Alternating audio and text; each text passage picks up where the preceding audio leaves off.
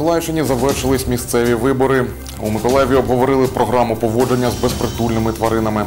Доброго ранку в ефірі новини на ЮА Миколаїв у студії Володимир Степанов.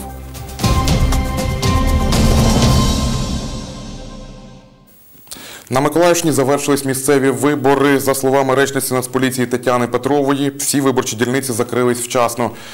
Правопорушень під час виборів не зафіксували. За попередніми підрахунками, станом на 20.00 у Мішко-Погорілівській сільській громаді явка виборців склала 38%.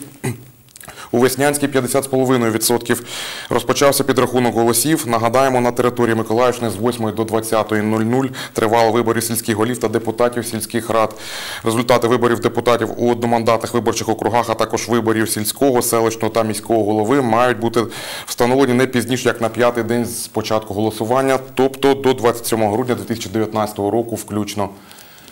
Під час засідання громадської ради з питань житлово-комунального господарства обговорили програму поводження з безпритульними тваринами та регулювання їхньої чисельності у Миколаєві.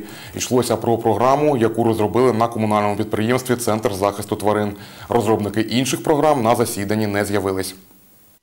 На 5 лет 25 миллионов гривен. То есть на следующий На 5 років 25 мільйонів гривень. Це за нашою програмою. Тобто на наступний рік близько 8 мільйонів. За планом цієї програми ми маємо прибрати з вулиць міста 4,5 тисячі собак. Цього достатньо, щоб знизити кількість покусів мінімум на 30-40%, навіть більше. Цьогоріч ми змогли прибрати з вулиць близько тисячі собак. Ця програма включає в себе евтаназію. Олександр Голобродський каже, це європейський метод, аби скоротити чисельність бездомних собак. Їх, за словами директора підприємства, в місті близько 17 тисяч. собака бродячая отлавливается с улицы. Собаку відловлюємо на вулиці. На вулиці міста вона не повертається. Далі її шлях або вона прилаштовується в родину, або передається зоозахисним організаціям, які несуть за неї відповідальність, або її евтанують.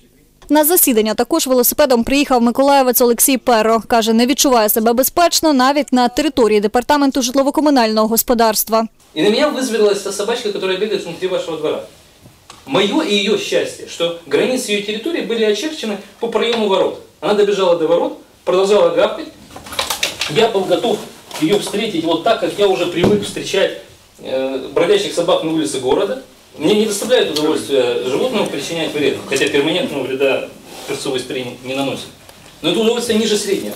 А мой такой опыт связан именно с тем, что в департаменте ЖКХ нарушают правила содержания собак на территории предприятия.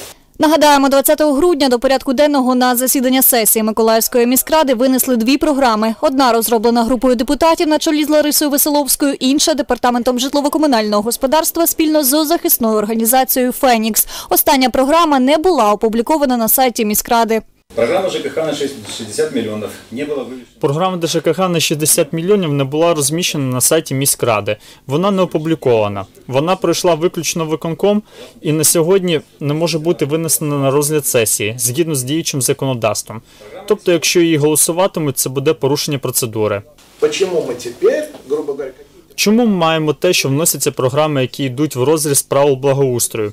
Вибачте, є місто, є правила, які мають працювати. Є комунальне підприємство, і в місті має бути чисто.